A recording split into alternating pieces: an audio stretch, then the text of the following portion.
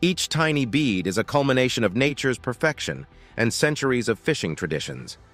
Harvested from the beluga sturgeon, one of the oldest and largest freshwater fish species, this caviar is distinctive because of its large grain size and a range of colors from silver to black. The fish itself, which can live up to a century and weigh as much as a ton, is a rarity, making its roe even more precious. What truly sets beluga caviar apart is its texture. Unlike other types of caviar, beluga has a soft, almost creamy consistency. When it touches the palate, it delivers a burst of flavors that can be likened to the taste of the sea, but with an unparalleled richness.